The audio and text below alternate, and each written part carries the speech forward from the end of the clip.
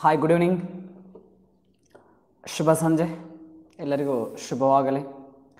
ಈ ಒಂದು ಕ್ಲಾಸಿನಲ್ಲಿ ಈಗಾಗಲೇ ತಿಳಿಸಿದ್ದೆ. ಎಕನಾಮಿಕ್ಸ್ ಕ್ಲಾಸಸ್ ಕೆಲವೊಂದಷ್ಟು ಮಾಡಬೇಕಾಗಿದೆ ಅಂಥೇಳಿ ಸೊ ಆ ಒಂದು ದೃಷ್ಟಿಯಿಂದ ಇವತ್ತು ಎಕನಾಮಿಕ್ಸ್ ಕ್ಲಾಸಸ್ಸನ್ನು ತೆಗೆದುಕೊಂಡು ಬಂದಿದ್ದೀನಿ. ಎಕನಾಮಿಕ್ಸಲ್ಲಿ ಅತಿ ಹೆಚ್ಚಾಗಿ ಅಂಕಗಳು ಬರ್ತಾ ಇರೋದು, ಬಂದಿರೋದು ಯೋಜನೆಗಳ ಮೇಲೆ. ಅವು ಪಂಚವಾರ್ಷಿಕ ಯೋಜನೆಗಳು. ಹಾಗೆ ಇನ್ನೂ ಹಲವಾರು ಯೋಜನೆಗಳಿದ್ದಾವೆ ಪಂಚವಾರ್ಷಿಕ ಯೋಜನೆಗಳು ಐದು ವರ್ಷಕ್ಕೊಂದು ಸದ್ಯ ರೂಪಿತವಾದಂಥವು. ಈ ಯೋಜನೆ ಅಂತಕ್ಕಂಥದ್ದು ಒಂದು ಪ್ಲ್ಯಾನ್ ಅಂತ ಕರಿತೀವಿ. ಇವತ್ತು ಶಿಕ್ಷಕರು ಒಂದು ಪಾಠ ಬೋಧನೆ ಮಾಡಬೇಕಾದ್ರೆ ಪಾಠದ ಪೂರ್ವದಲ್ಲಿ ಕೆಲವೊಂದಷ್ಟು ಮಾಹಿತಿಯನ್ನು ಕಲೆ ಹಾಕ್ಕೊಂಡು ಹೀಗೆ ಬೋಧಿಸಬೇಕು, ಇಂತಹ ವಿಷಯಗಳನ್ನು ಬೋಧಿಸಬೇಕಂತೇಳಿ ಚರ್ಚೆ ಮಾಡಿರ್ತಾರೆ. ಹಾಗೆ ಪಂಚವಾರ್ಷಿಕ ಯೋಜನೆಗಳಲ್ಲೂ ಕೂಡ ಪ್ರೀ ಪ್ಲ್ಯಾನಡ್ ಅಂತ ಕರೀತಾರೆ. ಐದು ವರ್ಷದ ಅವಧಿಯವರೆಗೆ ಇಷ್ಟೊಂದು ವಿಷಯವನ್ನು ತಿಳಿಸ್ಬೋದು, ಇಷ್ಟೊಂದು ವಿಷಯವನ್ನು ಅಥವಾ ಇಷ್ಟೊಂದು ಸಾಧನೆಯನ್ನು ಮಾಡಬಹುದು ಅಂತಕ್ಕಂಥ ಒಂದು ವಿಚಾರವನ್ನು ಇಲ್ಲಿಟ್ಕೊಂಡಿರ್ತಾರೆ. ಹಾಗೆ ಮತ್ತೊಂದು ಅಂಶ. ಇಲ್ಲಿ ಒಂದು ಪ್ರಶ್ನೆ ಬರ್ತದ. ಯೋಜನೆ ಅಂದರೇನು? What is the plan yes plan ಅಂತಂದ್ರೆ ಏನು ಕರಿತಿ, ಕೇಳ್ತೀವಿ. ಯೋಜನೆ ಅಂದರೆ ಕೆಲಸ ಮಾಡುವಕ್ಕಿಂತ ಪೂರ್ವದಲ್ಲಿ ಪೂರ್ವಭಾವಿಯಾಗಿ ಏನು ಒಂದು ಅಂದಾಜು ಪ್ರಕ್ರಿಯೆ ಮೂಲಕ ಅಥವಾ ಅಂದಾಜು ಒಂದು ವ್ಯವಸ್ಥೆ ಹಾಕೊಂಡಿರ್ತೀವಿ. ಆ ವ್ಯವಸ್ಥೆಯನ್ನು ಪ್ಲ್ಯಾನ್ ಅಂತ ಕರಿತೀವಿ. ಎಸ್? ಎಸ್. ಅಡ್ವಾನ್ಸ್ ಅಡ್ವಾನ್ಸ್ ಪ್ರೊಫ್ರೆಷನ್ ಅಂತ ಕರಿಬೋದು. ಅಥವಾ ಅಡ್ವಾನ್ಸ್ ಪ್ಲ್ಯಾನ್ ಹೌದಾ? ಪೂರ್ವ ತಯಾರಿ ಕರಿತೀವಿ. ಹಾಗಾದರೆ ಈ ಕೆಲಸವನ್ನು ಯಾರು ಮಾಡಬೇಕು ಅಂದರೆ ಈಗ ಯೋಜನೆ ಹಾಕೊಂಡಿರ್ತೀವಿ. ನಾಳೆ ನಮ್ಮ ಶಾಲೆಯಲ್ಲಿ ವಾರ್ಷಿಕೋತ್ಸವ ಸಮಾರಂಭ ಇದೆ ಅಂದರೆ ಒಂದು ಪ್ಲ್ಯಾನ್ ಹಾಕ್ತೀವಿ. ಇವರು ಗೆಸ್ಟ್ಗಳ ಬರ್ತಾ ಇದ್ದಾರೆ. ಅವರಿಗೆ ಈ ಥರನಂತಹ ಸನ್ಮಾನ ಮಾಡಬೇಕು. ಅಥವಾ ಅವರು ಈ ಥರನಾಗಿ ಭಾಷಣ ಅವ್ರ ಕಡೆಯಿಂದ ಮಾಡಲಿಕ್ಕೆ ಹಚ್ಚಬೇಕು ಹಾಗೆ ಇನ್ನೂ ಬೇರೆ ಬೇರೆ ಪ್ರಶ್ನೆಗಳ ಆ್ಯಂಕರಿಂಗ್ ಯಾರು ಮಾಡಬೇಕು? ಹಾಗೆ ಸ್ವಾಗತ ಯಾರು ಮಾಡಬೇಕು? ಭಾಷಣ ಯಾರು ಮಾಡಬೇಕು? ಹುಗುಚ್ಛೆ ಯಾರು ಕೊಡಬೇಕು? ಎಲ್ಲವನ್ನು ಪ್ಲ್ಯಾನ್ ಆಗ್ತೀರಿ ಆ ಪ್ಲ್ಯಾನ್ ಯಾರು ಮಾಡಬೇಕು ಅಂತ ತಿಳಿಸ್ಕೊಡ್ತದಲ್ಲ? ಅದೇ ಒಂದು ಇನ್ನೊಂದು ಮಾಹಿತಿ ಅದರಲ್ಲಿ ಯಾವ ಸಂದರ್ಭದಲ್ಲಿ ಮಾಡಿಕೊಡ್ಬೇಕಂತ ತಿಳಿಸೋದಲ್ಲ? ಹಾಗೆ ನಮ್ಮ ದೇಶಕ್ಕೆ ದೇಶ ಒಂದು ವ್ಯವಸ್ಥಿತವಾಗಿ ಸಾಗಲು, ದೇಶದ ಆರ್ಥಿಕತೆ ಸದೃಢವಾಗಲು ದೇಶಕ್ಕೆ ಏನು ಬೇಕಾಗಿದೆ ಅಂತಂದರೆ ಒಂದು ಯೋಜನೆ ಬೇಕಾಗಿದೆ, ಒಂದು ಪ್ಲ್ಯಾನ್ ಬೇಕಾಗಿದೆ. ಆ ಪ್ಲ್ಯಾನನ್ನು ನಮ್ಮ ಒಂದು ಭಾರತ ಸರ್ಕಾರ ಪ್ರಾರಂಭ ಮಾಡಿದೆ. ಸೊ ಅದು ಯಾವಾಗ ಏನೆಲ್ಲ ಹೇಳ್ತಾ ಹೋಗ್ತೀನಿ.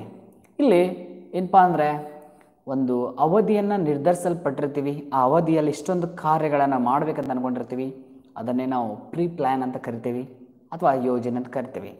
ಹಾಗೆ ಈ ಯೋಜನೆಗಳಲ್ಲಿ ಒಟ್ಟು ಎರಡು ಪ್ರಕಾರಗಳು. ಯೋಜನೆಯಲ್ಲಿ ಎರಡು ಪ್ರಕಾರ ಬರ್ತವೆ.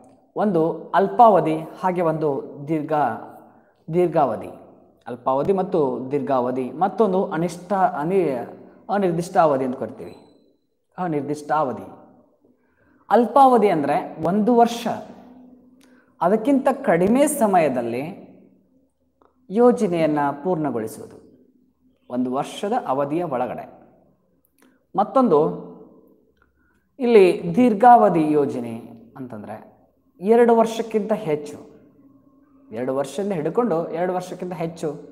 ಇಂತಿಷ್ಟು ವರ್ಷಗಳಂತೇಳಿ, ಅಥವಾ ಒಂದು ವರ್ಷದಕ್ಕಿಂತ ಹೆಚ್ಚಾಗಿರ್ತದೆ ಅಥವಾ ಇಂದಿಷ್ಟೇ ವರ್ಷಗಳಿಗೆ ಅದು ಸೀಮಿತ ಆಗಿರ್ತದೆ. ಐದು ವರ್ಷ ಆಗ್ಬೋದು, ಹತ್ತು ವರ್ಷ ಆಗ್ಬೋದು. ಅದು ವರ್ಷ ಇಂಪಾರ್ಟೆಂಟ್ ಅಲ್ಲ, ನಿಗದಿಗೊಳಿಸಿದಂತಹ ಒಂದು ದಿನ ಇಂಪಾರ್ಟೆಂಟ್ ಆಗಿರ್ತದೆ. ಇದನ್ನು ನಾವು ದೀರ್ಘಾವಧಿ ಏನಪ್ಪ ಅಂದ್ರೆ ಯೋಜನೆ ಅಂತ ಕರಿತೀವಿ. ಮತ್ತೊಂದು ಅನಿಸ್ ಅನಿ, ಅನಿರ್ದಿಷ್ಟಾವಧಿ ಅಂತ ಕರಿತೀವಿ. ಅನಿರ್ದಿಷ್ಟಾವಧಿ ಅಂದರೆ ಇದಕ್ಕೆ ಕೊನೆ ಅನ್ನೋದೇ ಇಲ್ಲ. ಜೀವನ ಪೂರ್ತಿ ಇದೇ ತರನಾಗಿ ನಡೀತಾ ಇರ್ತದ, ಬೆಳೀತಾ ಇರ್ತದ ಅನ್ನೋ ಅನ್ನುವಂಥ ಒಂದು ಮಾತು. ಎಸ್? ಹಾಗೆ ಇಲ್ಲಿ ಯೋಜನೆ ಹಾಕೊಳ್ಬೇಕಂದ್ರೆ ಕೆಲವೊಂದಷ್ಟು ಉದ್ದೇಶಗಳಿರ್ತವೆ. ಹೌದಾ?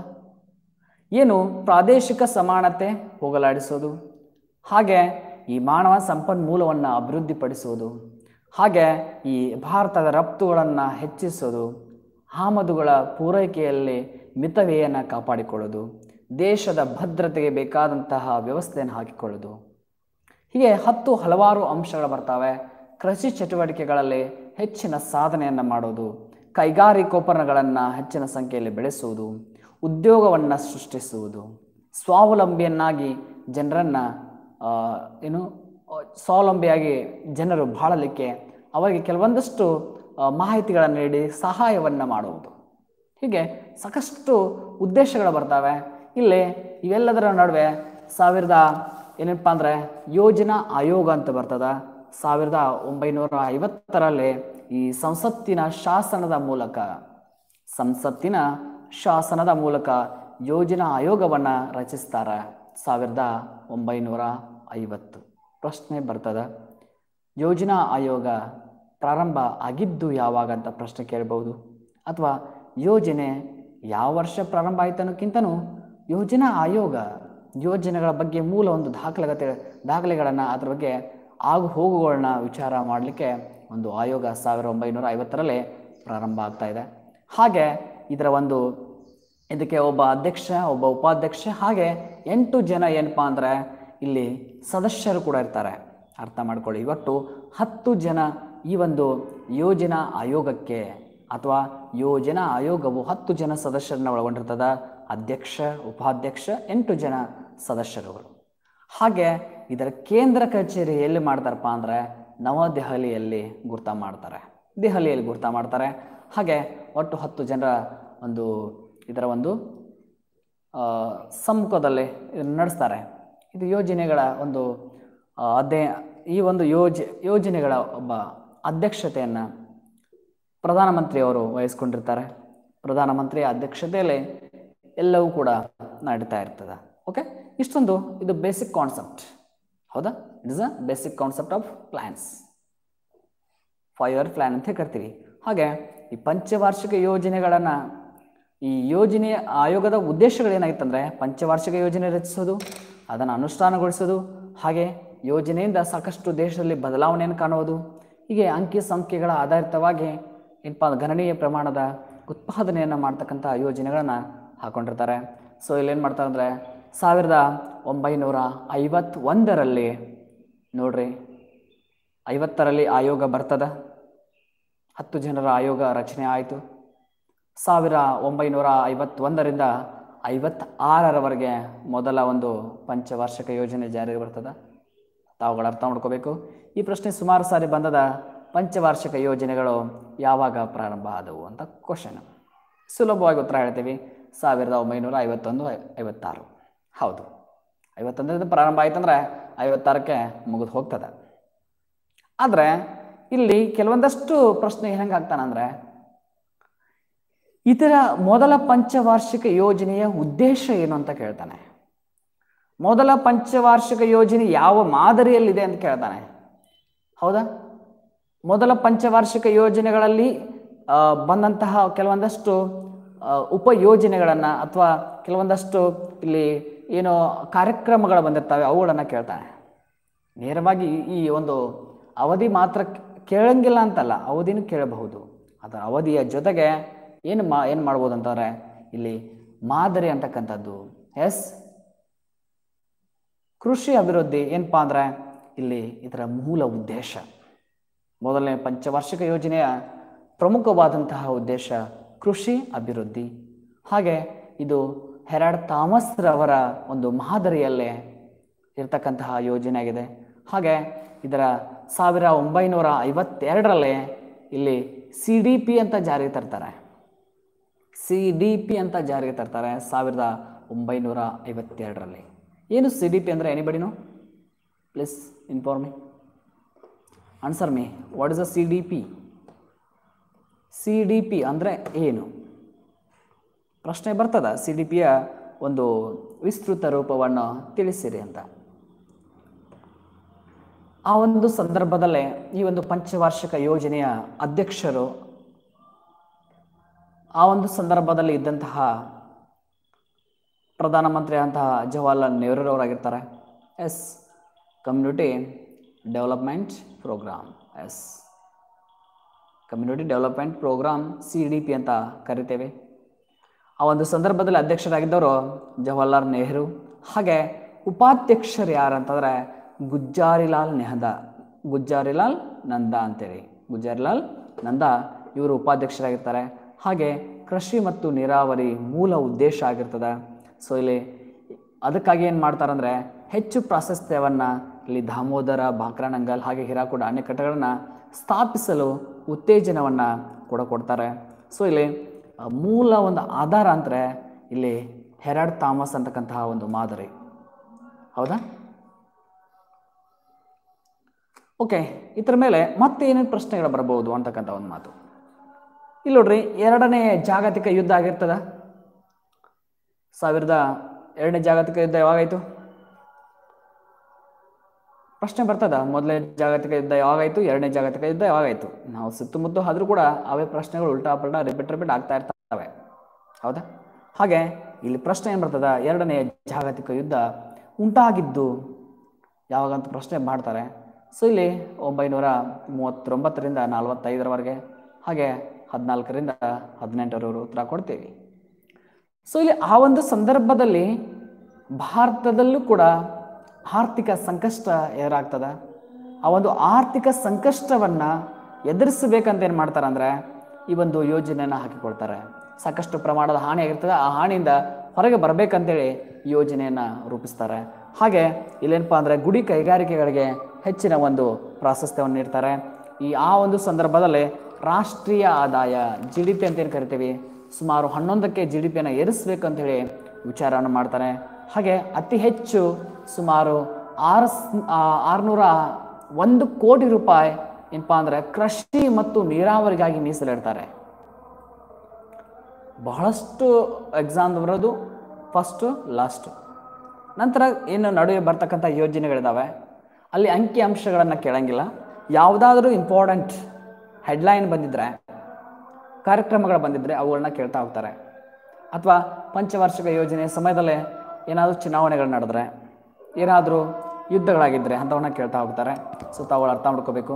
ಸುಮಾರು ಇಲ್ಲಿ ನೂರ, ಆರುನೂರ ಒಂದು ಕೋಟಿ ರೂಪಾಯಿದಷ್ಟು ಏನಪ್ಪ ಅಂದರೆ ಇಲ್ಲಿ ನಿಗದಿ ಹಣವನ್ನು ನಿಗದಿ ಮಾಡ್ತಾರೆ. ಹಾಗೆ ಸಾವಿರದ ಏನು ಐವತ್ತ ಎರಡರಲ್ಲಿ ಈ ಸಿ ಡಿ ಪಿ ಮೊಟ್ಟ ಮೊದಲ ಗ್ರಾಮೀಣಾಭಿವೃದ್ಧಿ ಕಾರ್ಯಕ್ರಮ ಅಥವಾ ಸಮುದಾಯ ಅಭಿವೃದ್ಧಿ ಕಾರ್ಯಕ್ರಮ ಅಂತೇಳಿ ಕಮ್ಯುನಿಟಿ ಡೆವಲಪ್ಮೆಂಟ್ ಪ್ರೋಗ್ರಾಮ್ ಅಂತ ಕರಿತೀವಿ. ಹಾಗೆ ಇಲ್ಲಿ ಸಾವಿರದ ಒಂಬೈನೂರ ಐವತ್ತ್ ಮೂರರಲ್ಲಿ ರಾಷ್ಟ್ರೀಯ ವಿಸ್ತರಣಾ ಸೇವೆ ಅಂತ ಪ್ರಾರಂಭ ಮಾಡ್ತಾರೆ. ಎನ್ ಇ ಎಸ್ ಅಂತೇಳಿ. ಎನ್ ಇ ಎಸ್ ಅಂತೇಳಿ ಏನಪ್ಪ ಅಂದರೆ ಈ ರಾಷ್ಟ್ರೀಯ ವಿಸ್ತರಣಾ ಸೇವೆ ಅಂತೇಳಿ ಸಾವಿರ ಒಂಬೈನೂರ ಐವತ್ತ್ ಮೂರರಲ್ಲಿ ಪ್ರಾರಂಭವನ್ನು ಮಾಡ್ತಾರೆ. ಇದರ ನಂತರ ಇದು ಈ ಯೋಜನೆ ಏನಪ್ಪ ಅಂದರೆ ಸಾವಿರದ ಒಂಬೈನೂರ ಐವತ್ತೆರಡರಲ್ಲಿ ಆದಂತಹ ಯೋಜನೆಗೆ ಹೊರತಾಗಿರ್ತಕ್ಕಂಥದ್ದು. ಹಾಗೆ ವಿಶ್ವದಲ್ಲೇ ಮೊದಲ ಬಾರಿಗೆ ಜಾರಿಗೆ ತಂದಂತಹ ಕುಟುಂಬ ಯೋಜನೆ ಕೂಡ ಸಾವಿರ ಒಂಬೈನೂರ ಐವತ್ತೆರಡರಲ್ಲಿ ಕುಟುಂಬ ಯೋಜನೆ ಕೂಡ ಜಾರಿಗೆ ಬರ್ತದ. ವಿಶ್ವದಲ್ಲೇ ಪ್ರಪ್ರಥಮ ಬಾರಿಗೆ ಕುಟುಂಬ ಯೋಜನೆಯನ್ನು ಜಾರಿಗೆ ತಂದ ದೇಶ ಯಾವುದು ಅಂತ ಕೇಳಿದ್ರೆ ಅದು ಮೇರಾ ಭಾರತ್ ಮಹಾನ್ ಹೈ. ಅದೊಂದೇ ಉತ್ತರ ಕೊಡ್ಬೋದು, ಬೇರೆ ಯಾವುದೂ ಅಲ್ಲ. ಯಾಕಂದರೆ ಕುಟುಂಬ ಯೋಜನೆಯಲ್ಲಿ ಕೂಡ ಸಾಕಷ್ಟು ವಿವರಣೆಯನ್ನು ನಾವು ಕಾಣ್ತಾ ಹೋಗ್ತೀವಿ, ಓಕೆ? ಈ ಸಮುದಾಯದ ಕಾರ್ಯಕ್ರಮದ ಜೊತೆಗೆ ಕುಟುಂಬ ಯೋಜನೆ ಅಂತಕ್ಕಂಥದ್ದು ಬಹಳಷ್ಟು ಇಂಪಾರ್ಟೆಂಟ್ ಆಗ್ತದೆ, ಓಕೆ? ಇಷ್ಟು? ಹಾಗೆ ಇನ್ನೊಂದೆರಡು ಪಾಯಿಂಟ್ ನೋಡ್ರಿ. ಸಾವಿರದ ಒಂಬೈನೂರ ಎಪ್ಪತ್ತೇಳರಲ್ಲಿ ಕುಟುಂಬ ಕಲ್ಯಾಣ ಯೋಜನೆಗಾಗಿ ಇದನ್ನ ಏನು ಮಾಡ್ತಾ ಅಂದ್ರೆ ಕುಟುಂಬ ಯೋಜನೆ ಇದ್ದದನ್ನ ಕುಟುಂಬ ಕಲ್ಯಾಣ ಯೋಜನೆ ಅಂತೇಳಿ ಮರುನಾಮಕರಣ ಮಾಡ್ತಾರೆ. ಎಲ್ಲಿ? ಅದು ಮುಂದುವರೆದಂತೆ ಸಾವಿರದ ಒಂಬೈನೂರ ಐವತ್ತೆರಡರಲ್ಲಿ ಕುಟುಂಬ ಯೋಜನೆ ಅಂತಿತ್ತು. ಅದನ್ನೇ ಸಾವಿರದ ಒಂಬೈನೂರ ಎಪ್ಪತ್ತೆರಡರಲ್ಲಿ ಕುಟುಂಬ ಕಲ್ಯಾಣ ಯೋಜನೆ ಅಂತೇಳಿ ಮರುನಾಮಕರಣ ಮಾಡ್ತಾರೆ. ಹೌದಾ? ಈಗ ನೋಡ್ರಿ, ಇದು ಏನಿತ್ತು ಪ್ರೆಸೆಂಟು? ಮೊದಲು ಯೋಜನೆ, ಈಗ ಪಂಚವಾರ್ಷಿಕ ಯೋಜನೆ ಅಂತ ಇದ್ವಿ. ಈ ಸದ್ಯಕ್ಕೆ ಇದನ್ನು ಏನಂತ ಕರಿತಾ ಇದ್ದೀವಿ? ಐವತ್ತ ಎರಡರಿಂದ ಹಿಡ್ಕೊಂಡು, ಐವತ್ತೊಂದರಿಂದ ಹಿಡ್ಕೊಂಡು ಸಾವಿರ ಎರಡು ಸಾವಿರದ ಹದಿನಾಲ್ಕರವರೆಗೆ, ಅಂದರೆ ಹನ್ನೆರಡರವರೆಗೆ ಅಥವಾ ಹದಿನೇಳರವರೆಗೆ ಇದನ್ನು ನಾವು ಪಂಚವಾರ್ಷಿಕ ಯೋಜನೆ ಅಂತ ಮಾಡಿದ್ವಿ. ಆದರೆ ಈ ಸದ್ಯಕ್ಕೆ ಇದನ್ನ ಏನಂತ ಕರಿತಾ ಇದ್ದೀವಿ? ಅದು ಇಂಪಾರ್ಟೆಂಟ್ ಸದ್ಯಕ್ಕೆ ಪಂಚವಾರ್ಷಿಕ ಯೋಜನೆ ಅಂತ ಇದ್ದೀವಾ ಅಥವಾ ಬೇರೆ ಅಂತ ಕರಿತಾ ಇದ್ದೀವಾ ಯೋಜನಾ ಆಯೋಗ. ಎಸ್, ನೀತಿ ಆಯೋಗ.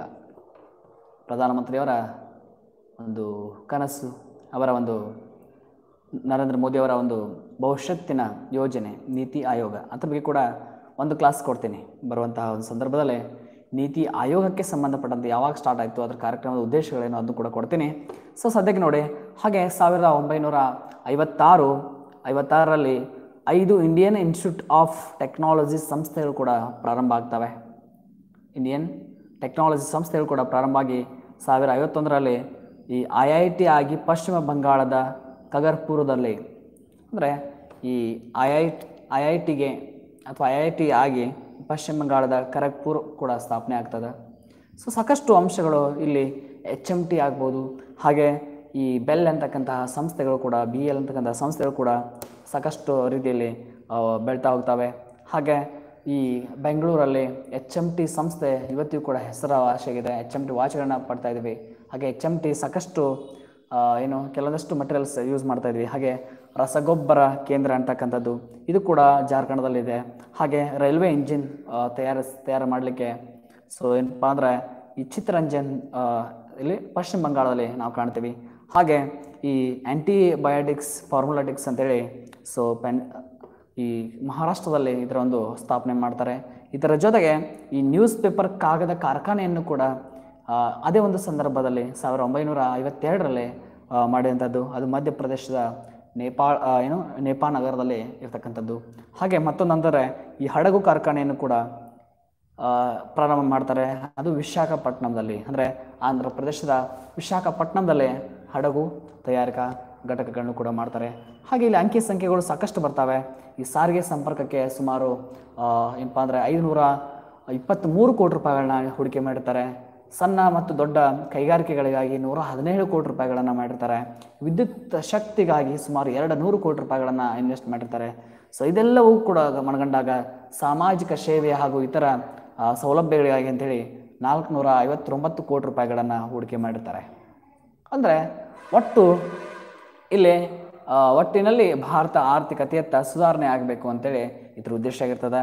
ಸೊ ಇಲ್ಲಿ ಮುಖ್ಯವಾಗಿ ಬರ್ತಕ್ಕಂತಹ ನಾಲ್ಕೈದು ಪಾಯಿಂಟ್ಗಳನ್ನ ತಾವು ನೆನ್ಪಿಡಬೇಕು. ಹಾಗೆ ನೋಡ್ರಿ, ಮತ್ತೊಂದು ಬರ್ತದ ಮುಂದಿನ ಒಂದು ಎರಡನೇ ಒಂದು ಮಾದರಿ.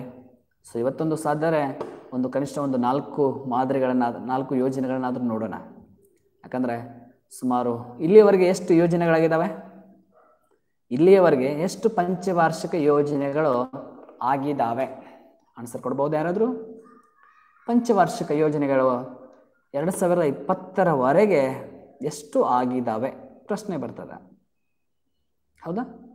ಐವತ್ತೊಂದರಲ್ಲಿ ಪ್ರಾರಂಭ ಆಯಿತು. ಹಾಗೆ ಐದೈದು ವರ್ಷ ನಾವೇನಾದರೂ ಲೆಕ್ಕ ಹಾಕೊಂತ ಬಂದರೆ ಕಷ್ಟ ಆಗ್ತದ. ಹೌದಾ? ಎಸ್, ಹನ್ನೆರಡು ಪಂಚವಾರ್ಷಿಕ ಯೋಜನೆಗಳಿದ್ದಾವೆ ನಡುವೆ ಹನ್ನೆರಡು, ಹದಿನಾಲ್ಕು, ಹದಿನೈದು ಕೊಡ್ತಾ ಇದ್ದಾರೆ ತಪ್ಪು. ಹದಿಮೂರನೇದು ಪ್ರಾರಂಭ ಇದೆ ಅಂತ ಅನ್ಕೊಳ್ಳೋಣ. ಆದರೆ ಏನಾಯಿತು? ಇಲ್ಲಿ ಸದ್ಯಕ್ಕೆ ನೀತಿ ಆಯೋಗ ಜಾರಿಯಲ್ಲಿದೆ. ಹೌದಾ? ನೀತಿ ಆಯೋಗ ಜಾರಿಯಲ್ಲಿದೆ. ಹನ್ನೆರಡು ಪಂಚವಾರ್ಷಿಕಗಳು ಎರಡು ಸಾವಿರದ ಹದಿನೇಳರವರೆಗೂ ಕೂಡ ಇರೋದನ್ನು ನಾವು ಕಾಣ್ತಾ ಇದ್ದೀವಿ. ಹದಿನೇಳರ ಪಂಚವಾರ್ಷಿಕ ಎರಡು ಸಾವಿರದ ಹದಿನೇಳರವರೆಗೆ. ಹನ್ನೆರಡರಿಂದ ಹದಿನೇಳರವರೆಗೆ ಇತ್ತು. ಎರಡು ಸಾವಿರದ ಹದಿನಾಲ್ಕರಲ್ಲಿ ನರೇಂದ್ರ ಮೋ ಪ್ರಧಾನ ನರೇಂದ್ರ ಮೋದಿಯವರು ಪ್ರಧಾನಮಂತ್ರಿ ಆದಮೇಲೆ ಈ ಎರಡು ಸಾವಿರದ ಹದಿನೈದರಲ್ಲೇ ಆ ಒಂದು ಯೋಜನೆಯನ್ನು ಕ್ಯಾನ್ಸಲ್ ಮಾಡಿ, ಅದನ್ನೇ ಅದಕ್ಕೆ ಮರುನಾಮಕರಣ ಮಾಡಿ ನೀತಿ ಆಯೋಗ ಅಂತ ಪ್ಲ್ಯಾನ್ ಮಾಡಿದರು. ಅದ್ರ ಬಗ್ಗೆ ಮತ್ತೆ ಮಾಹಿತಿ ನೋಡೋಣ. ಎರಡನೇ ಪಂಚವಾರ್ಷಿಕ ಯೋಜನೆ ಸಾವಿರದ ಒಂಬೈನೂರ ಐವತ್ತಾರರಿಂದ ಅರವತ್ತೊಂದು ಅಂತಕ್ಕಂಥದ್ದು. ಸೊ ಇಲ್ಲಿ ಕೂಡ ತಾವುಗಳು ನೋಡ್ಬೋದು, ಈ ಒಂದು ಜವಾಹರ್ಲಾಲ್ ನೆಹರೂರವರು ಅಧ್ಯಕ್ಷತೆ. ಹಾಗೆ ಉಪಾಧ್ಯಕ್ಷರು ಯಾರಿರ್ತಾರೆ? ಪ್ರಶ್ನೆ ಹೇಳ್ಬೋದಾ?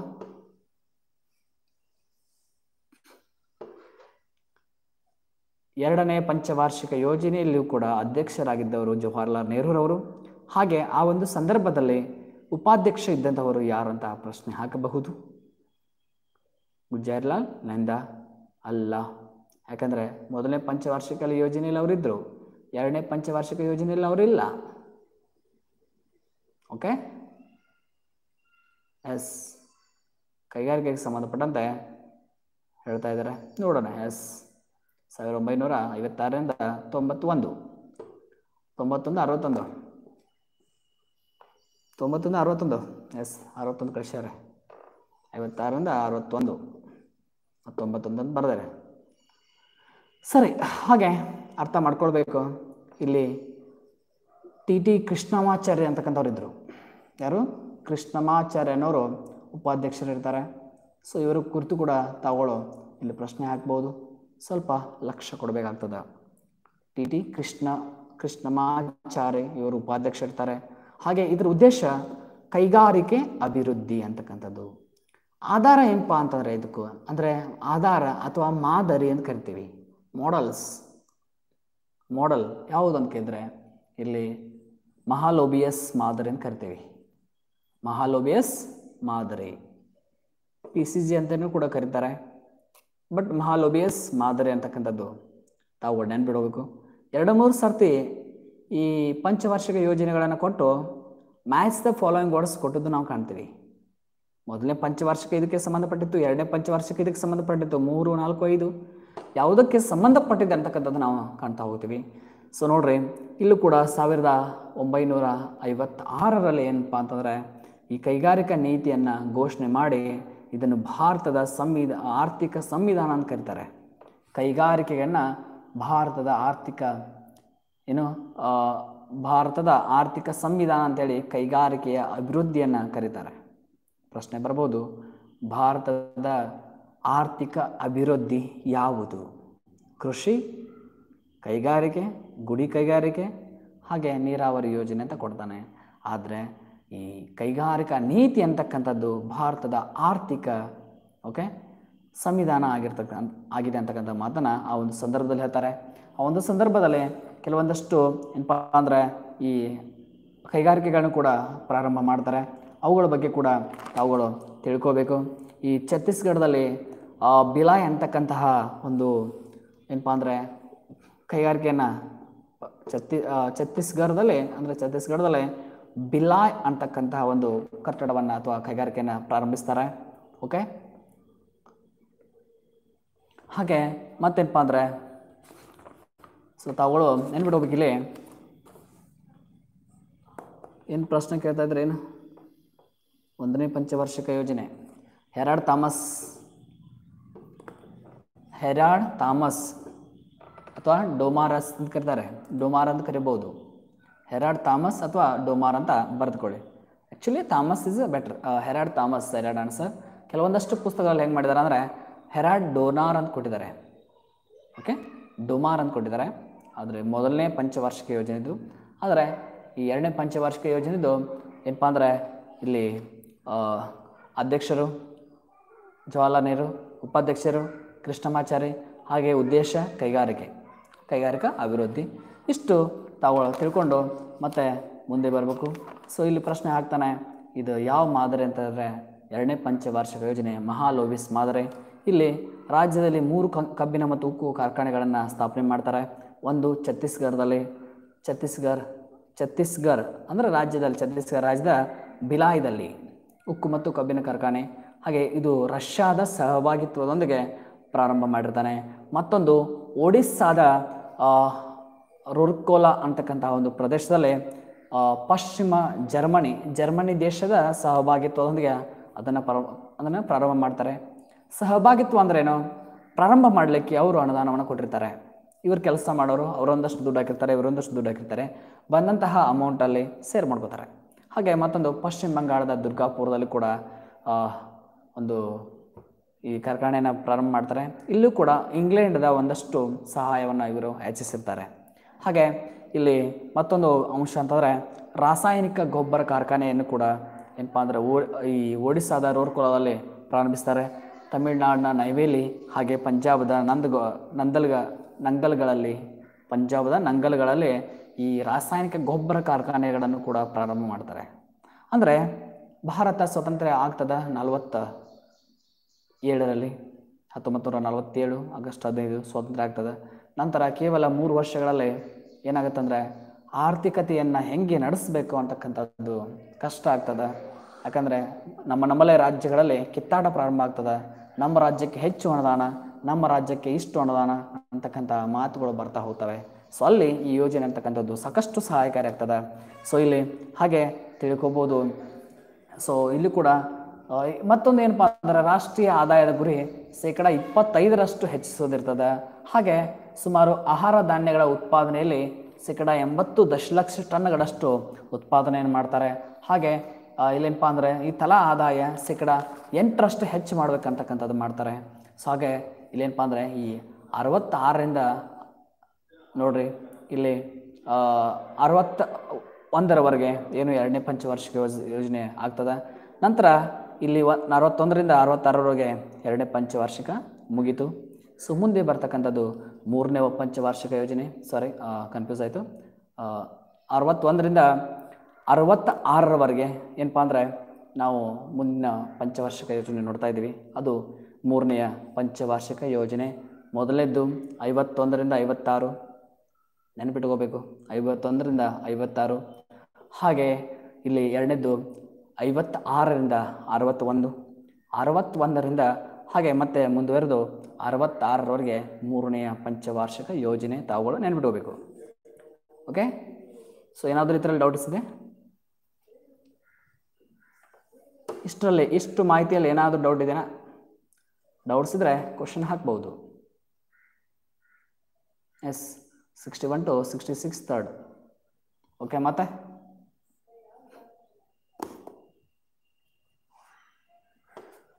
ಏನಾದರೂ ಪ್ರಶ್ನೆ ಇದ್ರೆ ಹಾಕಬಹುದು. ಇಲ್ಲ ಕ್ಲಿಯರ್ ಅಲ್ವಾ? ಹಾ ಓಕೆ ಇಲ್ಲಿ ಬರ್ತೀನಿ ನೋಡಿ. ಇಲ್ಲೇ ಕೆಲವೊಂದಷ್ಟು ಮಾಹಿತಿ ನಾವು ಕನ್ಫ್ಯೂಸ್ ಮಾಡ್ಕೋತೀವಿ. ಯಾಕಂತಂದರೆ ಇಲ್ಲಿ ಏನಾಗ್ತದೆ ಅಂದರೆ ಇಂಪಾರ್ಟೆಂಟ್ ಇದು. ಯಾವುದು?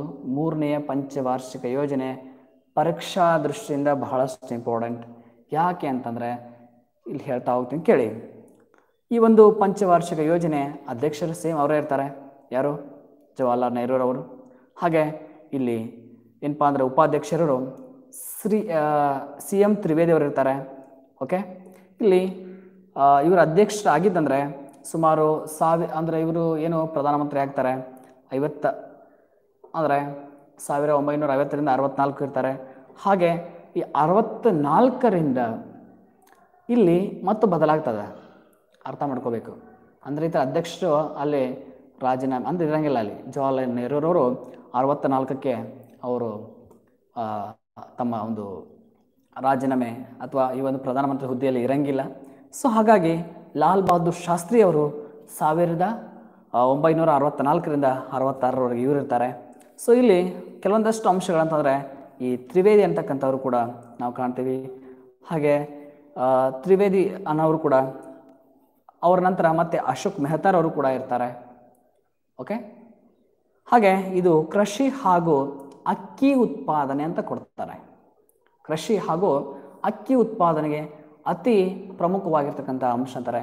ಇಲ್ಲಿ ಅರವತ್ತೊಂಬತ್ತರಿಂದ ಹಿಡ್ಕೊಂಡು ಸಾರಿ ಅರವತ್ತಾರರಿಂದ ಮತ್ತೆ ಅದು ಮುಂದುವರೆದಂತಹ ಭಾಗಗಳಲ್ಲಿ ಕೆಲವೊಂದಷ್ಟು ರಜಾ ಅವಧಿಗಳನ್ನು ಕೂಡ ನಾವು ನೋಡ್ತೀವಿ. ಇದರಲ್ಲಿ ಕನ್ಫ್ಯೂಸ್ ಆಗ್ತಕ್ಕಂಥ ಅಂಶ ಇರ್ತದೆ. ಯಾಕಂದರೆ ನಾವು ಐದೈದು ವರ್ಷ ಜಂಪ್ ಮಾಡ್ತಾ ಮಾಡ್ತಾ ಹೋದ್ವಿ ಅಂದರೆ ನಡುವೆ ತಪ್ತದೆ. ಯಾಕಂದರೆ ಹೆಚ್ಚು ಕಡಿಮೆ ಎರಡು ಮೂರು ವರ್ಷ ಏನು ಮಾಡಿದ್ದಾರೆ ಅಂದರೆ ಇಲ್ಲಿ ರಜಾ ಅವಧಿ ಅಂತ ಮಾಡಿದ್ದಾರೆ ಅದನ್ನು ಕೂಡ ತಾವು ತಿಳ್ಕೊಳ್ಬಹುದು. ಇಲ್ಲಿ ಅದಕ್ಕಿಂತ ಪೂರ್ವದಲ್ಲಿ ಇದಕ್ಕೆ ಆಧಾರ ಏನು? ಅಂದರೆ ಇದು ಯಾವ ಮಾದರಿಯಲ್ಲಿದೆ ಅಂತಕ್ಕಂಥದ್ದು. ಯಾವುದು? ಮೂರನೆಯ ಪಂಚವಾರ್ಷಿಕ ಯೋಜನೆ ಯಾವ ಆಧಾರದಲ್ಲಿದೆ ಅಥವಾ ಇದರ ಮಾದರಿ ಯಾವುದು ಅಂತೇಳಿ? ಪ್ರಶ್ನೆ ಆಗ್ತಾನೆ. ಆನ್ಸರ್ ಮಾಡ್ಬೋದಾ? ಮೂರನೆಯ ಪಂಚವಾರ್ಷಿಕ ಯೋಜನೆ ಯಾವ ಒಂದು ಮಾದರಿಯಲ್ಲಿ ಪ್ರಕಟವಾಯಿತು ಅಥವಾ ಜಾರಿಗೆ ಬಂತು ಅಂತೇಳಿ ಪ್ರಶ್ನೆಯನ್ನು ಹಾಕ್ತಾರೆ. ಸೊ ಆನ್ಸರ್ ಕೊಡೆ.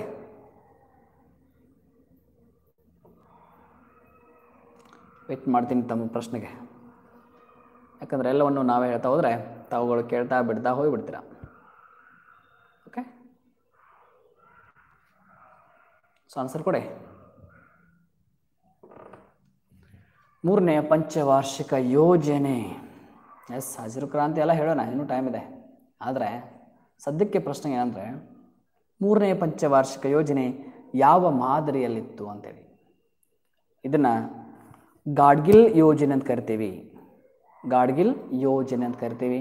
ಹಾಗೆ ದೂರದೃಷ್ಟಿ ಯೋಜನೆ ಅಂತೇಳಿ ಕರಿತೀವಿ.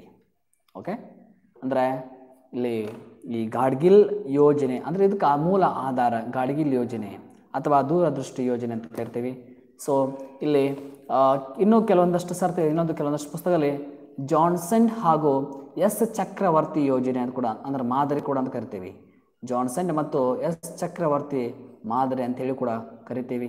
ತಾವುಗಳು ಬರೆದಿಟ್ಕೊಳ್ಳಿ, ಬಹಳಷ್ಟು ಇಂಪಾರ್ಟೆಂಟ್ ಆಗ್ತದ ಪರೀಕ್ಷಾ ದೃಷ್ಟಿಯಿಂದ ಓಕೆ ಏನಪ್ಪ ಅಂದರೆ ಜಾನ್ಸನ್ ಮತ್ತು ಎಸ್ ಚಕ್ರವರ್ತಿ ಅಂತಕ್ಕಂತಹ ಮಾದರಿ ಅಂತಕ್ಕಂಥದ್ದು ಕೂಡ ನಾವು ಕಂಡುಕೊಳ್ಳುತ್ತೀವಿ ಓಕೆ ಹಾಗೆ ಇಲ್ಲಿ ಗಾಡ್ಗಿಲ್ ಆಧಾರ, ಮೂಲ ಆಧಾರ ಇದಕ್ಕೆ ಆಧಾರ ಯೋಜನೆ ಗಾಡ್ಗಿಲ್ ಅಂತಕ್ಕಂಥದ್ದು ಓಕೆ ಬರೆದಿಟ್ಕೊಂಡಿದ್ರೆ ಅನಿಸ್ತದ.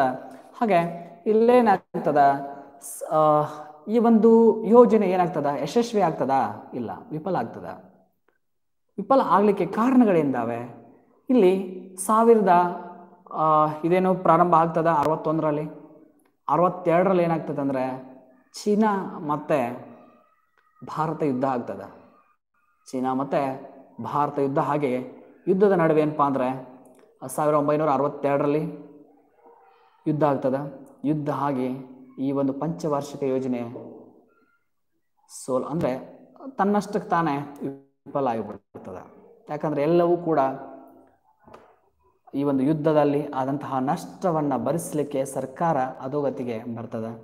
ಆ ಒಂದು ಸಂದರ್ಭದಲ್ಲಿದ್ದಂತಹ ಪ್ರಧಾನಮಂತ್ರಿಯವರು ಮಾಡಿದಂತಹ ಮಹತ್ ಕಾರ್ಯಗಳು ಭಾರತವನ್ನು, ಭಾರತ ಈ ಒಂದು ಚೀನಾದ ಮುಂದೆ ಹೀನಾಯವಾಗಿ ಸೋಲಲ್ಲೂ ಕೂಡ ಕಾರಣ ಆಗ್ತದೆ. ಯಾಕಂದರೆ ಆ ಒಂದು ಸಂದರ್ಭದಲ್ಲಿದ್ದಂತಹ ಅಧಿಕಾರಿಗಳು ಪ್ರಧಾನಮಂತ್ರಿಯವ್ರನ್ನ ಕೇಳ್ತಾರೆ. ನಾವು ಕೂಡ ಚೀನಾ ಜೊತೆ ಯುದ್ಧ ಮಾಡೋಣವಾ? ಅವ್ರು ಮಾಡ್ತಾ ಇದ್ದಾರೆ, ನಮ್ಮ ಸೈನಿಕರನ್ನ ಹೊಡಿತಾ ಇದ್ದಾರೆ, ನಮ್ಮ ಸೈನಿಕರನ್ನ ಸಾಯಿಸ್ತಾ ಇದ್ದಾರೆ. ನಾವು ಕೂಡ ಅವ್ರನ್ನ ಸದೆ ಬಿಡ್ತೀವಿ ನಮಗೆ ಬೇಕಾದಂತಹ ಮೂಲ ಸಾಮಗ್ರಿಗಳನ್ನು, ಮುದ್ದು ಮದ್ದುಗಂಡುಗಳನ್ನು ಹಾಗೆ ಪಿಸ್ತೂಲು ಬಂದೂಕುಗಳನ್ನು ಕೊಡ್ರಿ ಅಂತ ಹೇಳ್ತಾರೆ. ಆವಾಗಲೇ ಸ್ವಾತಂತ್ರ್ಯ ಆಗಿ ಭಾರತ ಕೇವಲ ಒಂದು ಹತ್ತು ಹದಿನೈದು ವರ್ಷ ಆಗಿರ್ತದೆ. ಹೌದಾ? ಸೊ ಅಂಥ ಸಂದರ್ಭದಲ್ಲಿ ಭಾರತ ಭಾರತದ ಪ್ರಧಾನಿ ಜವಾಹರ್ಲಾಲ್ ನೆಹರೂರವರು ಯಾವುದೇ ರೀತಿಯಂತಹ ಸಹಕಾರವನ್ನು ನೀಡಂಗಿಲ್ಲ. ಸೊ ನೀಡಂಗಿಲ್ಲ ಅಂತ ಅನ್- ಅನ್- ಅನ್ನುವಂತಹ ಸಂದರ್ಭದಲ್ಲಿ ಹೀನಾಯವಾಗಿ ಭಾರತ ಅಲ್ಲಿ ಸೋಲ ಸೋಲನ ಒಪ್ಕೊಳ್ಳೋದಿಲ್ಲ. ಆದರೆ ಯುದ್ಧಕ್ಕೆ ಬೇಕಾದಂತಹ ಶಸ್ತ್ರಾಸ್ತ್ರಗಳಿಲ್ಲ ಅಂತಂದರೆ ಏನು ಮಾಡೋಕ್ಕಾಗಲ್ಲ. ಇವತ್ತು ಇಬ್ಬರು ವ್ಯಕ್ತಿಗಳು ಪೈಲ್ವಾನ್ರಿರ್ತಾರೆ. ಇಬ್ಬರು ಕೂಡ ನಾನು ಹೆಚ್ಚು, ನೀನು ಹೆಚ್ಚು ಅನ್ನೋಂಥ ಸಂದರ್ಭದಲ್ಲೂ ಕೂಡ ಒಬ್ಬ ವ್ಯಕ್ತಿಗೆ ಹೇಳ್ತಾರೆ, ನೀನು ಯುದ್ಧ ಮಾಡಿ ನೀನು ಕುಸ್ತಿ ಆಡ್ಲಿಕ್ಕೆ ಹೋಗಬೇಡ. ಸುಮ್ಮನೆ ಸೋತ್ರೆ ಸೋತ್ ಬಾ, ಬಡದ್ರೆ ಬಡಿಸ್ಕೊಂಡು ಬಾ. ನೀನು ಮಾತ್ರ ಅವ್ರಿಗೆ ಏನು ಮಾಡೋಕ್ಕೆ ಹೋಗಬೇಡ. ಯಾಕಂದರೆ ಅವ್ರು ಹಿಂದಿಂದ ಬ್ಲ್ಯಾಕ್ ಮೇಲ್ ಮಾಡ್ತಿರ್ತಾರೆ, ಮತ್ತು ಹಾದಿಯಲ್ಲಿ ಹತ್ತು ಜನ ಸೇರಿ ಮತ್ತೆ ನಮನ ಸೆದೆ ಬಡಿಬೋದು. ಅಂದರೆ ಹೆದರಿಕೆ.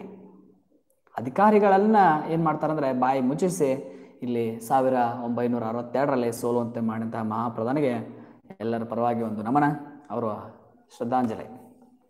ಹಾಗೆ ಇಲ್ಲಿ ಮುಂದುವರಂತೆ ಮತ್ತೆ ಏನಪ್ಪ ಅಂತಾರೆ, ಭಾರತ ಮತ್ತು ಪಾಕಿಸ್ತಾನ ಯುದ್ಧ ಕೂಡ ಆಗ್ತದೆ. ಇದು ಈ ಒಂದು ಯುದ್ಧದ ನಂತರ ಸ್ವಲ್ಪ ದಿನದಲ್ಲಿ ಭಾರತ ಚೇತರಿಸಿಕೊಳ್ತಾ ಇದೆ ಅಂದ ತಕ್ಷಣ ಈ ಪಾ, ಚೀನಾ ಏನು ಮಾಡುತ್ತೆ ಅಂದರೆ ಪಾಕಿಸ್ತಾನಕ್ಕೆ ಸಪೋರ್ಟ್ ಮಾಡ್ತದೆ. ಈಗಾಗಲೇ ನಾನು ಭಾರತವನ್ನು ಏನು ಮಾಡಿದ್ದೀನಿ, ಹೀನಾಯವಾಗಿ ಸೋಲಿಸಿದ್ದೀನಿ.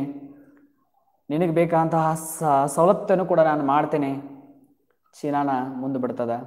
ಹಿಂದಿಂದ ಪಾಕಿಸ್ತಾನ ನಿಲ್ತದೆ. ಅಲ್ಲ ಸಾರಿ ಪಾಕಿಸ್ತಾನ ಮುಂದೆ ಕಳಿಸಿ ಚೀನಾ ಹಿಂದೆ ನಿಂತ್ಕೋತದ. ಆದರೆ ಆ ಒಂದು ಸಂದರ್ಭದಲ್ಲಿ ಇದ್ದಂತಹ ಪ್ರಧಾನಿ, ಅಚ್ಚುಮೆಚ್ಚಿನ ಪ್ರಧಾನಿ ಲಾಲ್ ಬಹದ್ದೂರ್ ಶಾಸ್ತ್ರಿ, ಇವರೇನು ಹೇಳಂಗಿಲ್ಲ, ಕೇಳಂಗಿಲ್ಲ. ಆ ಒಂದು ಸಂದರ್ಭದಲ್ಲಿ ಇದ್ದಂತಹ ಈ ಮೂರು ಏನು ವಾಯುಸೇನೆ ಹಾಗೆ ಜಲಶ ಏನೋ ನಾವು ನೇವಿ ಆರ್ಮಿ ಏರ್ಫೋರ್ಸ್ ಅಂತ ಕರಿತೀವಿ. ಮೂರು ಒಂದು ಮ್ಯಾಕ್ಸಿಮಮ್ ಮುಸ್ಲಿಂ ಬಾಂಧವರೇ ಅಲ್ಲಿ ನಾಯಕರಿರ್ತಾರೆ. ಒಂದು, ಆ ಒಂದು ಕಮಾಂಡರ್ಗಳು. ಅದರಲ್ಲಿ ಒಬ್ಬ ಕಮಾಂಡರ್ ಬಂದ ಕತೆ ಒಂದು ಓದಿದ್ದು, ಎಲ್ಲ ಕೇಳಿದ್ದು. ಬಂದು ಈ ನಮ್ಮ ಲಾಲ್ ಬಹದ್ದೂರ್ ಶಾಸ್ತ್ರಿ ಅವ್ರು ಕೇಳ್ತಾರಂತೆ. ಹಾಗಾದರೆ ಪಾಕಿಸ್ತಾನದವರು ನಮ್ಮ ಒಂದು ಕಾಶ್ಮೀರದ ಮೇಲೆ ಅಟ್ಯಾಕ್ ಮಾಡ್ತಾ ಇದ್ದಾರೆ ನಾವು ಕೂಡ ಮಾಡೋಣೇನೋ ಮಾಡೋಣ ಅಂತ ಕೇಳಕ್ಕೆ ಹೋಗ್ಬೇಡ್ರಿ. ನಿಮಗೇನು ಬಂದೂಕ್ ಹೊಡಿಲ್ಲ, ಗುಂಡು ಹಾಕ್ಲಾ, ಅಥವಾ ಇನ್ನೊಂದೆರಡು ಬಂದೂಕುಗಳು ಕಾಲಿಗಿದಾವೆ ಎಕ್ಸ್ಟ್ರಾ ತೊಗೊಂಡು ಹೋಗ್ಲಾ? ಅಥವಾ ಆ ಬಾಂಬ್ಗಳು ಕಾಲಿಗಿದಾವೆ ತೋಲ ಪ್ರಶ್ನೆ ಕೇಳೋಂಗಿಲ್ಲ. ರಿಸಲ್ಟ್ ಮಾತ್ರ ನನಗೆ ಬೇಕು. ರಿಸಲ್ಟ್ ಏನೈತಲ್ಲ ಅಕ್ಯುರೇಟ್ ರಿಸಲ್ಟ್ ಅನ್ನು ಕೊಟ್ಬಿಡ್ರಿ. ಸೋತ್ವಿ ಅಂದರೆ? ಸೋತು ಅಂತ ಹೇಳ್ರಿ. ಹೌದಾ? ಗೆದ್ದರೆ ಗೆದ್ದು ಅಂತ ಹೇಳ್ರಿ. ಇಷ್ಟು ತಗೋತೀನಿ, ಇಷ್ಟು ಕಲೆ ಆಯಿತು ನನಗೆ ಪದೇ ಪದೇ ಹೇಳಕ್ಕೆ ಹೋಗ್ಬೇಡ್ರಿ. ಒಟ್ಟಿನಲ್ಲಿ ನಂಗೆ ಫೈನಲ್ ರಿಸಲ್ಟ್ ಬೇಕು. ನಿಮ್ಗೆ ಏನು ಬೇಕು ಎಲ್ಲ ತೋಡಿ, ಫುಲ್ ಫ್ರೀ. ಯಾಕಂದರೆ ಹೆಚ್ಚು ಕಡಿಮೆ ಅಟ್ ಪ್ರೆಸೆಂಟ್ ನರೇಂದ್ರ ಮೋದಿ ಅವರ ಮನಸ್ಥಿತಿ ಹೆಂಗಿತ್ತು? ಹಾಗೆ ಲಾಲ್ ಬಹದ್ದೂರ್ ಶಾಸ್ತ್ರಿ ಅವ್ರ ಮನಸ್ಥಿತಿ ಇತ್ತು. ಈಗಾಗಲೇ ಹಾಗಾಗಿ ಅವರು ಜಾಸ್ತಿ ವರ್ಷ ಬದುಕಲಿಲ್ಲ. ಇಷ್ಟು ಹೇಳಿ ಇಲ್ಲಿ ಯುದ್ಧ ಸ್ಟಾರ್ಟ್ ಆಯಿತು, ಅವ್ರು ಹೋಗಿ ರಷ್ಯಾಕ್ಕೆ ಹೋಗಿ ಕುತ್ಕೊಂಡ್ರು. ರಷ್ಯಾದ ಒಂದು ರಷ್ಯಾ ಜೊತೆ ಚರ್ಚೆ ಮಾಡಲಿಕ್ಕೆ. ಈಗಾಗಲೇ ಕೆಲವೇ ವರ್ಷಗಳ ಹಿಂದೆ ಚೀನಾ ಜೊತೆ ಸೋತಿತ್ತು ಭಾರತ. ಆ ಒಂದು ಸೇಡನ್ನು ಪಾಕಿಸ್ತಾನ ಜೊತೆ ತಿರ್ಸುವಂತು ಪಾಕಿಸ್ತಾನವನ್ನು ಸುಮಾರು ಪಾಕಿಸ್ತಾನದವ್ರು ಇಪ್ಪತ್ತು ಕಿಲೋಮೀಟರ್ ಭಾರತದೊಳಗೆ ಬಂದರು, ಆದರೆ ಎರಡು ನೂರು ಕಿಲೋಮೀಟ್ರ್ ಇಂಡಿಯಾದವರು ಪಾಕಿಸ್ತಾನದ ಒಳಗೆ ಹೋಗ್ತಾರೆ. ಆಗಿದ್ದಂತಹ ಅಲ್ಲಿ ಪ್ರಧಾನಿಗಳು ನಮ್ಮ ಏನಪ್ಪ ಅಂದ್ರೆ ಲಾಲ್ ಬಹದ್ದೂರ್ ಶಾಸ್ತ್ರಿ ಅವರಿಗೆ ಕರೆ ಮಾಡ್ತಾರೆ ಫೋನ್ ಮೂಲಕ. ಕಾಂಟ್ಯಾಕ್ಟ್ ಆಗಂಗಿಲ್ಲ. ಯಾಕಂದರೆ ಅವ್ರು ಹಾಕ್ತಕ್ಕಂತಹ ಶರ್ಟ್ಗಳಿಗೆ ಜೇಬುಗಳೇ ಇರಲಿಲ್ಲ ಅಂತೆ.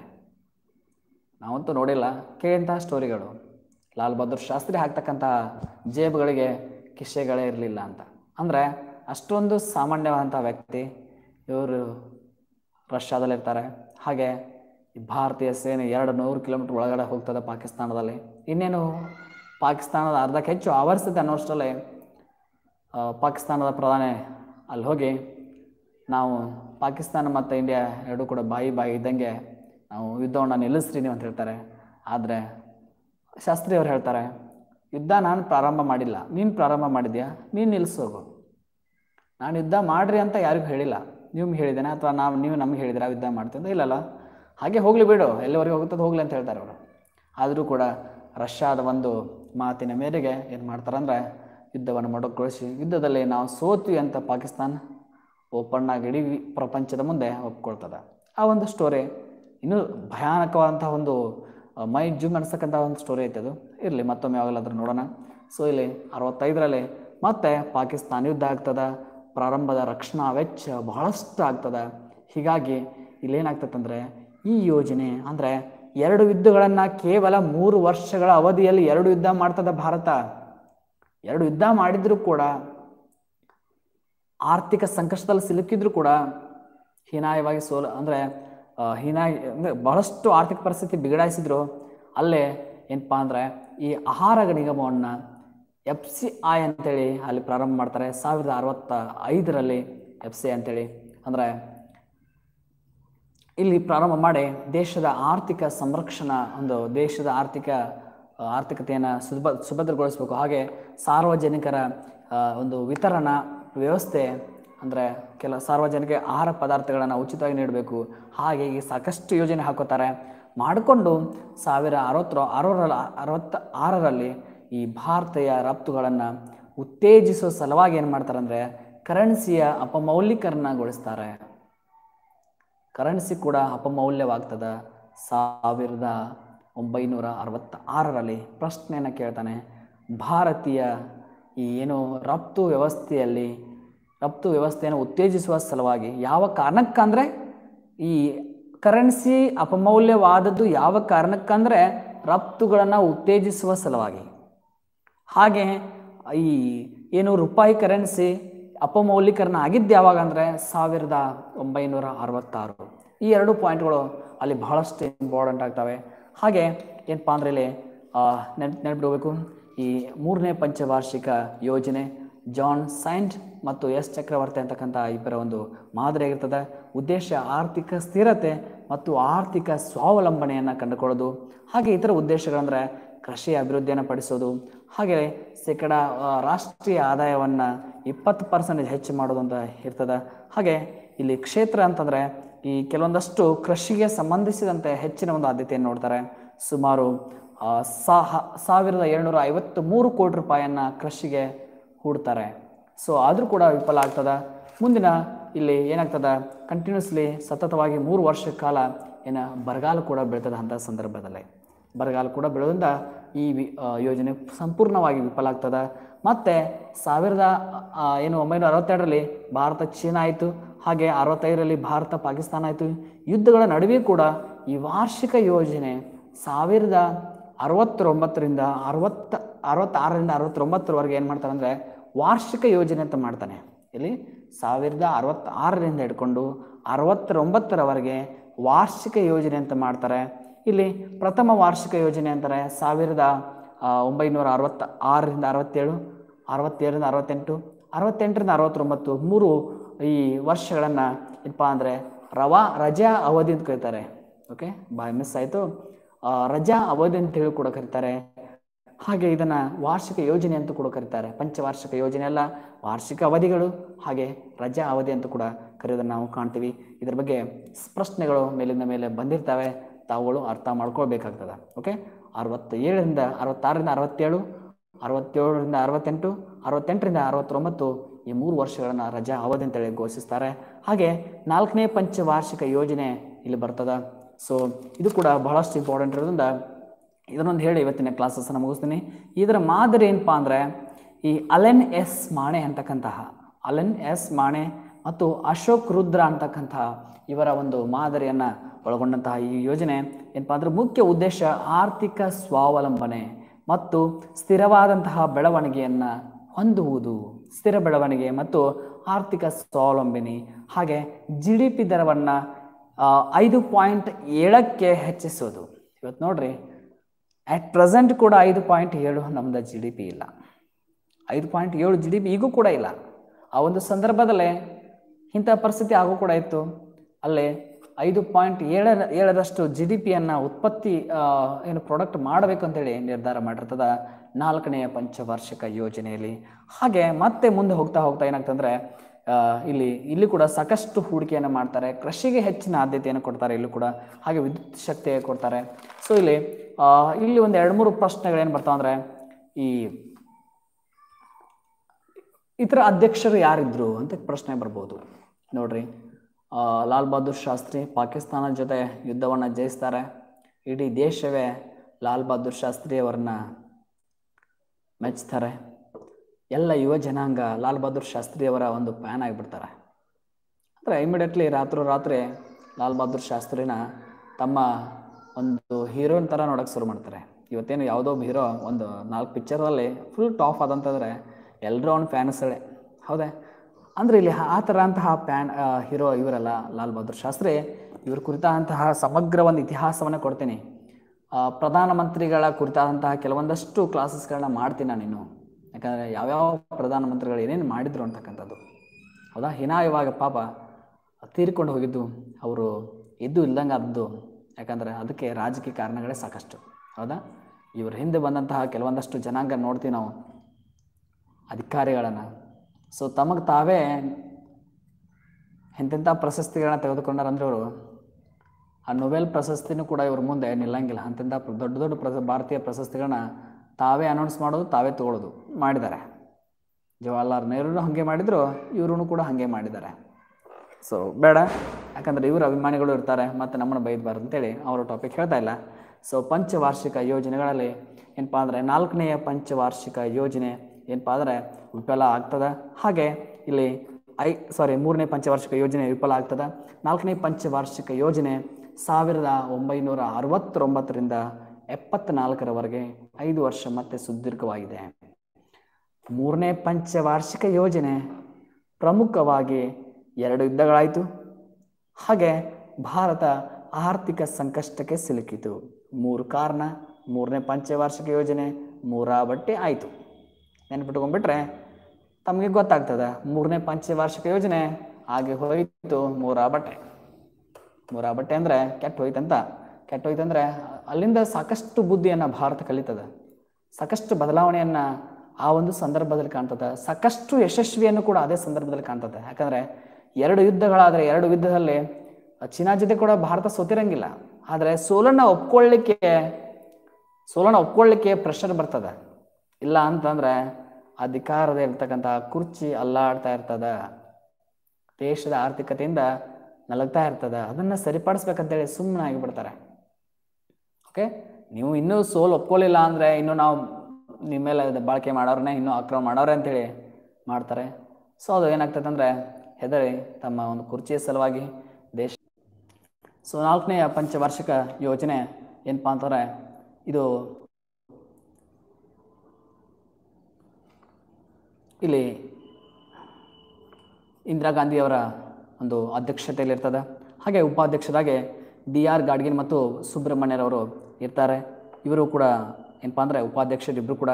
ಹಾಗೆ ಕೆಲವು ದಿನಗಳ ನಂತರ ದುರ್ಗಾ ಪ್ರಸಾದ್ ಧಾರ್ ಅಂತಕ್ಕಂಥವ್ರು ಕೂಡ ಬರ್ತಾರೆ. ಸಾವಿರದ ಎಪ್ಪತ್ತೆರಡರಿಂದ ಎಪ್ಪತ್ನಾಲ್ಕರವರೆಗೆ. ಅಂದರೆ ಮುಗಿಯುವಂಥ ಸಂದರ್ಭದಲ್ಲೇ ಈ ಸುಬ್ರಹ್ಮಣ್ಯ ತುಂಬ, ಸುಬ್ರಹ್ಮಣ್ಯ ಹಾಗೂ ಗಾಡ್ಗಿನ್ರವರು ತೆಗೆದುಹಾಕ್ತಾರೆ. ಅವ್ರನ್ನ ತೆಗೆದುಹಾಕಿ ಇಲ್ಲಿ ಪ್ರಸಾದ್ ಧಾರ್ ಅಂತಕ್ಕಂಥವ್ರನ್ನ ಉಪಾಧ್ಯಕ್ಷರನ್ನಾಗಿ ನೇಮಕ ಮಾಡ್ತಾರೆ. ಇಲ್ಲಿ ಸಾವಿರ ಒಂಬೈನೂರ ಅರವತ್ತೊಂಬತ್ತು ಒಂಬತ್ತು ಅಂದಿನ ಯೋಜನಾ ಆಯೋಗದ ಉಪಾಧ್ಯಕ್ಷರಾದಂತಹ ಗಾಡ್ಗಿನ್ರವರ ತತ್ವವನ್ನು ಅಳವಡಿಸಿಕೊಂಡಿತು ಅಂತ ಹೇಳ್ತಾರೆ. ಅಂದರೆ ಅವ್ರ ತತ್ವವನ್ನು ಇದು ಅಳವಡಿಸಿಕೊಂಡಿತು. ಹಾಗೆ ಗಾಡ್ಗಿನ್ ಯೋಜನೆ ಅಂಥೇಳಿ ಇದು ಕೂಡ ಪ್ರಸಿದ್ಧ ಆಗಿದೆ ನಾವು ಕಾಣ್ತೀವಿ. ಗಾಡ್ಗಿನ್ ಯೋಜನೆ ಯಾವ ಪಂಚವಾರ್ಷಿಕ ಯೋಜನೆಗೆ ಸಂಬಂಧಪಟ್ಟಿದೆ ಅಂತ ಕೇಳ್ತಾರೆ ಪ್ರಶ್ನೆನ. ನಾಲ್ಕನೇ ಪಂಚವಾರ್ಷಿಕ ಯೋಜನೆ ಗಾಡ್ಗಿನ್ ಯೋಜನೆ ಆಗಿದೆ. Okay? P C to A C ಪ್ರಶ್ನೆಗಳು ಬರಬಹುದು ಓಕೆ? ಹಾಗೆ ಸಾವಿರದ ಒಂಬೈನೂರ ಅರವತ್ತೊಂಬತ್ತು ಜುಲೈ ಹತ್ತೊಂಬತ್ತು ಹಾಗೂ ಹತ್ತು ಹತ್ತು, ಹತ್, ನೋಡ್ರಿ ಸಾವಿರ ಒಂಬೈನೂರ ಅರವತ್ತೊಂಬತ್ತರಂದು ಸುಮಾರು ಇಲ್ಲೇನು ಮಾಡ್ತಾರಂದ್ರೆ, ಜುಲೈ ಹತ್ತೊಂಬತ್ತರಂದ್ರೆ ಹದಿನಾಲ್ಕು ಬ್ಯಾಂಕುಗಳ ರಾಷ್ಟ್ರೀಕರಣ ಮಾಡ್ತಾರೆ. ಹದಿನಾಲ್ಕು ಬ್ಯಾಂಕುಗಳ ರಾಷ್ಟ್ರೀಕರಣ ಮಾಡ್ತಾರೆ. ಮಾಡಿದಂತಹ ಪ್ರಧಾನಮಂತ್ರಿ ಯಾರಂತ ಕೇಳ್ತಾರೆ? ಹೇಳಬೇಕು, ಇಂದಿರಾಬಾಯಿ ಇಂದಿರಾಬಾಯಿ ಅಂತೇಳಿ. ಇಂದಿರಾ ಗಾಂಧಿ ಹೇಳಬೇಕು ಹೆಸರು ಅವರಂತ, ಓಕೆ? ಹಾಗೆ ಇಲ್ಲಿ ಹಸಿರು ಕ್ರಾಂತಿ ಪ್ಲ, ಇದು ಫಲಪ್ರದವಾದಂತಹ ಅವಧಿ ಅಂತೇಳಿ ಇದನ್ನು ಕರೀತಾರೆ. ಸೊ ಹಾಗೆ ಇಲ್ಲಿ ಸಾವಿರದ ಒಂಬೈನೂರ ಅರವತ್ತೊಂಬತ್ತರಲ್ಲಿ ಈ ಅಗ್ರ ಬ್ಯಾಂಕ್ ಅಥವಾ ಲೀಡ್ ಬ್ಯಾಂಕ್ ಅಂತ ಕರಿತೀವಿ, ಈ ನಾರಿಮನ್ ಸಮಿತಿ ಹಾಗೂ ಗಾಡ್ಗಿನ ಸಮಿತಿಯ ಶಿಫಾರಸಿನ ಮೇಲೆ ಏನಪ್ಪ ಅಂದರೆ ಈ ನಾ ಅಗ್ರ ಬ್ಯಾಂಕ್ ಅಂತಕ್ಕಂಥದ್ದನ್ನು ಅಂದರೆ ಅಗ್ರ ಬ್ಯಾಂಕ್ ಅಂದರೆ ಹದಿನಾಲ್ಕು ಬ್ಯಾಂಕ್ಗಳ ರಾಷ್ಟ್ರೀಕರಣ ಅಂತ, ಅಂತಕ್ಕಂಥದ್ದು. ಹಾಗೆ ಈ ಒಂದು ಅವಧಿಯಲ್ಲಿ ಮೊದಲ ಬಾ, ಬಾರಿಗೆ ಏನಪ್ಪ ಅಂದರೆ ಎಸ್ ಬಿ ಐ ಬ್ಯಾಂಕ್ ಕೂಡ ರೂಪೇದಾಗ್ತದೆ ಬ್ಯಾಂಕುಗಳ ಶಾಖೆಗಳನ್ನು ವಿಸ್ತರಿಸುವ ಜವಾಬ್ದಾರಿ, ಬ್ಯಾಂಕುಗಳ ಶಾಖೆಗಳನ್ನು ವಿಸ್ತರಿಸಕ ವಿಸ್ತರಿಸುವಂಥ ಜವಾಬ್ದಾರಿ ಇಲ್ಲಿ ಎಸ್ ಬಿ ಐ ಬ್ಯಾಂಕ್ ಹೊಂದ ಒಪ್ಕೊಳ್ತದೆ. ಅದೇ ತನ್ನ ಶಾಖೆಗಳನ್ನ ಎಲ್ಲ ಕಡೆ ಹಬ್ಬಿಸ್ತಾ ಹೋಗ್ತದೆ. ನಂತರ ಬೇರೆ ಬೇರೆ ಸಾಕಷ್ಟು ಬ್ಯಾಂಕ್ಗಳಾಗ್ತವೆ. ಬ್ಯಾಂಕ್ಗಳ ಬಗ್ಗೆ ಕೂಡ ಒಂದು ಕ್ಲಾಸಸ್ ಮಾಡಿದ್ದೀನಿ. ತಾವುಗಳು ನೋಡ್ಬೋದು. ಈ ಅವಧಿಯಲ್ಲಿ ಕೂಡ ಭಾರತ ಪಾಕಿಸ್ತಾನ ನಡುವೆ ಮತ್ತೆ ಸಾವಿರದ ಒಂಬೈನೂರ ಎಪ್ಪತ್ತೊಂದರಲ್ಲಿ ಯುದ್ಧ ಆಗ್ತದೆ. ಅಂದರೆ ಇಲ್ಲೇನಾಗ್ತದೆ? ಬಾಂಗ್ಲಾದೇಶದ ವಿಮೋಚನೆ ಆಗ್ತದೆ. ಅಂದರೆ ಬಾಂಗ್ಲಾದ ಮೇಲೆ ಅವರು ತಮ್ಮ ಒಂದು ಪ್ರಾಬಲ್ಯವನ್ನು ಬೀರ್ತಿರ್ತಾರೆ. ಅಂಥ ಸಂದರ್ಭದಲ್ಲಿ ಭಾರತ ಬಾಂಗ್ಲಾಕ್ಕೆ ಸಪೋರ್ಟ್ ಮಾಡ್ತದೆ. ಹೀಗಾಗಿ ಭಾರತ, ಪಾಕಿಸ್ತಾನ ಅಲ್ಲಿ ಮುಖ್ಯವಾಗಿದ್ದಂತಹ ಅದು ಜಗಳ ಅಥವಾ ಒಂದು ಏನು ಸಮಸ್ಯೆ, ಭಾರತ ಬಾ ಪಾಕಿಸ್ತಾನ ಬಾಂಗ್ಲಾ ಇರ್ತದೆ. ಆದರೆ ಬಾಂಗ್ಲಾಕ್ಕೆ ಭಾರತ ಇಲ್ಲಿ ಸಪೋರ್ಟ್ ಮಾಡಿ ಇಲ್ಲಿ ಬಾಂಗ್ಲಾವನ್ನು ಪಾಕಿಸ್ತಾನದ ವಿಮೋಚನೆಯನ್ನು ಮಾಡ್ತದ. ಅದು ಸಾವಿರದ ಒಂಬೈನೂರ ಎಪ್ಪತ್ತ ಒಂದು ಓಕೆ ಹಾಗೆ ಸಾವಿರದ ಒಂಬೈನೂರ ಎಪ್ಪತ್ತ್ಮೂರರಲ್ಲಿ ಮತ್ತೇನಾಗ್ತದೆ ಅಂದರೆ ಬರಗಾಲ ಪೀಡಿತ ಪ್ರದೇಶ, ಪ್ರದೇಶಾಭಿವೃದ್ಧಿ ಕಾರ್ಯಕ್ರಮ ಮಾಡ್ತಾರೆ. ಬರಗಾಲ ಅಭಿವೃದ್ಧಿ, ಪ್ರದೇಶಗಳ ಅಭಿವೃದ್ಧಿ ಕಾರ್ಯಕ್ರಮ ಅಂತ ಮಾಡ್ತಾರೆ. ಅಂದರೆ ಆ ಒಂದು ಸಂದರ್ಭದಲ್ಲಿ ಸಾಕಷ್ಟು ಪ್ರದೇಶಗಳಲ್ಲಿ ಮಳೆ ಆಗದೆ ಬರಗಾಲ ಉಂಟಾಗ್ತಿರ್ತದೆ ಅದಕ್ಕೆ D P A D P A P ಅಂತ ಕರೀತಾರೆ ಆ ಒಂದು ಇದನ್ನು. ಹೌದಾ? ಹೀಗೆ ಈ ಅವಧಿಯಲ್ಲಿ ರಾಜಸ್ಥಾನದ ಪೋಖ್ರಾನ್ ಎಂಬ ಸ್ಥಳದಲ್ಲಿ ಸ್ಟೈಲಿಶ್ ಸ್ಮೈಲಿಂಗ್ ಬುದ್ಧ ಅಂತಕ್ಕಂಥ ಹೆಸರಿನ ಪ್ರೋಕ್ರಾಣ ಒಂದನ್ನು ಕೂಡ ಏನು ಹೊರಡಿಸ್ತಾರೆ. ಈ ಪರೀಕ್ಷೆಯನ್ನು ಪೋಕ್ರಾನ್ ಅನು ಪೋಕ್ರ ಪೋಕ ಪೋಖ್ರಾನ್ ಪರೀಕ್ಷೆ ಆಗಿದ್ದು ಯಾವಾಗ ಅಂತ ಕೇಳ್ಬೋದು? ಸಾವಿರದ ಎಪ್ಪತ್ನಾಲ್ಕು ಮೇ ಹದಿನೆಂಟರಂದು.